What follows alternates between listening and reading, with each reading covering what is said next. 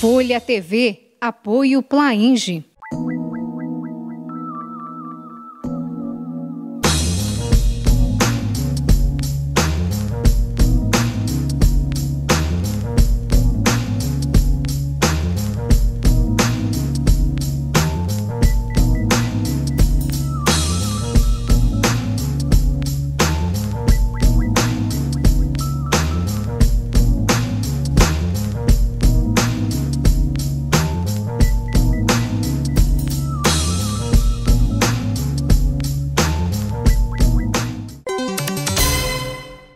Gostar mesmo, de verdade, ninguém gosta de pagar imposto. Mas não tem jeito. Chegou a época de prestar contas à Receita Federal. Veja agora quem tem que declarar o imposto de renda e ainda as novidades tecnológicas deste ano. Este ano, a tabela do imposto de renda teve correção de 4,5%. Com isso, tem que declarar. Quem teve rendimentos tributáveis superiores a R$ 25.661,70 em 2013, ou mais de R$ 2.138,47 por mês. Teve rendimentos não tributáveis acima de 40 mil. Tinha bens com valores a partir de 300 mil reais até 31 de dezembro optou pela isenção do imposto de renda sobre o ganho de capital de venda de imóveis residenciais, por ter aplicado dinheiro na compra de outro imóvel até 180 dias depois.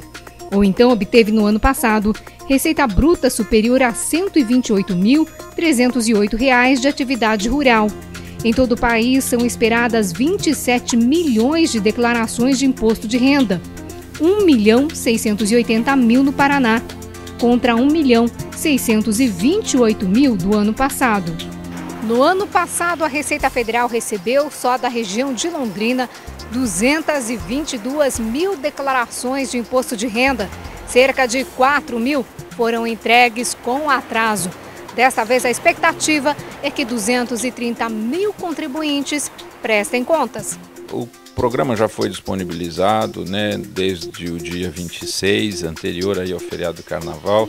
Muitas pessoas já aproveitaram esse período, deixaram a, a, a sua declaração pronta para transmitir aí já desde ontem. Agora, é, muitos, infelizmente, deixam para fazer no último momento. E nesse último momento, às vezes preciso de ajuda, aí os escritórios de contabilidade já estão lotados, acaba entregando com atraso e incorrendo em multas. É importante que não se deixe, pelo menos, né, se não pode fazer agora ou não tem condições, está faltando alguma informação, pelo menos não se deixe para a última semana, porque nós é, apesar da Receita ter condições de receber essas informações até o último minuto, é, é bastante é largo essa, essa, essa banda de informação que está disponível para recepcionar essas informações. Ocorre que nós às vezes podemos ter alguma indisponibilidade, precisamos fazer uma viagem de último momento, ou às vezes temos um problema com a internet e agora a declaração é só pela internet, não tem outro meio. Então é bom é, estarmos né, seguros e de que isso vai ser feito com um mínimo aí de uma semana de antecedência do prazo fatal. O prazo termina no dia 30 de abril. Os atrasadinhos pagam multa 1% do imposto devido, ou no mínimo R$ 165,74. Por isso, o conselho é não deixar para a última hora. E tem outro incentivo: quem declara antes pode receber a restituição mais cedo. Nós temos um critério de fila, existe duas filas. Uma que é dos idosos e dos portadores de doença grave. Segundo a lei, então eles têm prioridade. E um outro é a fila geral, que entra nessa fila se a declaração está correta, se não tem nenhum dado a ser retificado ou a ser comprovado, é, então essa fila, a ordem dessa fila é a ordem da entrega da declaração. Né? Então, nós, é, no primeiro lote de restituição, que vai sair no mês de junho, é, provavelmente nesse lote vão estar aí só os idosos, os portadores de doença de doença grave que tenha prioridade na fila e que não e que tem, tem direito à restituição e que as declarações estão corretas. A partir do segundo lote, começa a vir as pessoas que entregaram primeiro. Para baixar o programa, basta acessar o site www.receita.fazenda.gov.br. Depois de preencher tudo, é só enviar pelo ReceitaNet. O contribuinte pode optar pelo modelo completo ou simplificado. O completo vale para quem tem despesas que podem ser deduzidas acima de 20% do ganho bruto. Entram gastos com saúde e educação, inclusive dos dependentes. Já no modelo simplificado, o limite para deduções é de R$ 15.197,02. Atenção! Este ano as declarações só podem ser enviadas pela internet. Isso, a, a declaração 2014 marca o fim de, de dizemos sempre assim, de, marca o fim dos dispositivos móveis, do, perdão, dos dispositivos físicos, né, dos meios físicos de apresentação da declaração, seja disquete, disco, CD, DVD de dados, pendrive, que até ano passado ainda era recepcionado pela Caixa Econômica e Banco do Brasil, esse ano acabou, só pela, é, pela rede. As outras novidades são na área tecnológica. Uma delas é a declaração previamente preenchida. A certificação digital está se tornando cada vez mais comum e ela significa o seguinte: é uma assinatura eletrônica. É quando você está online com a Receita e a Receita Federal tem a certeza que do lado de lá é você realmente que está acessando esses dados. Né?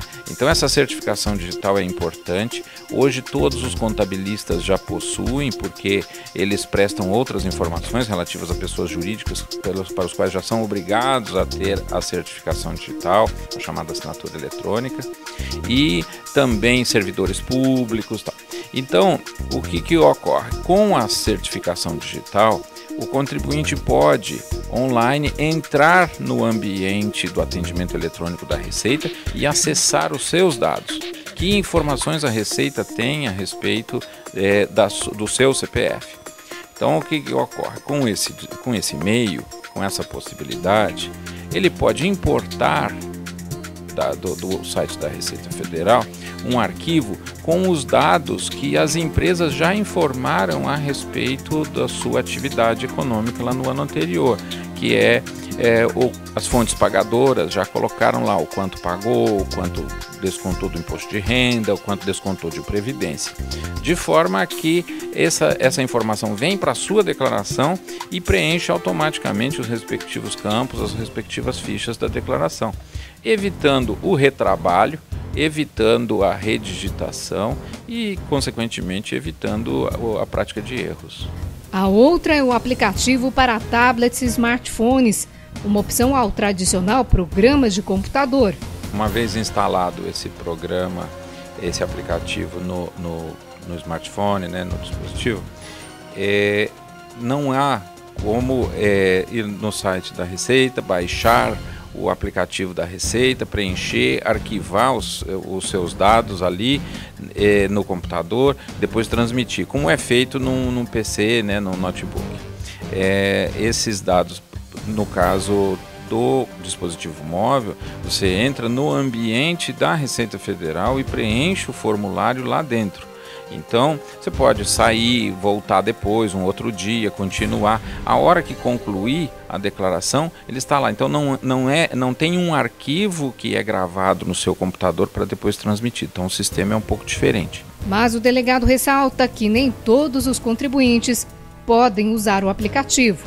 É que tem alguns contribuintes que ainda não conseguem usar, não vão poder usar esse, esse meio para fazer a declaração, que são aqueles contribuintes que se utilizam de outros aplicativos, acessórios para apuração do imposto de renda mensal, que é o caso do carnê-leão, da atividade rural, do ganho de capital.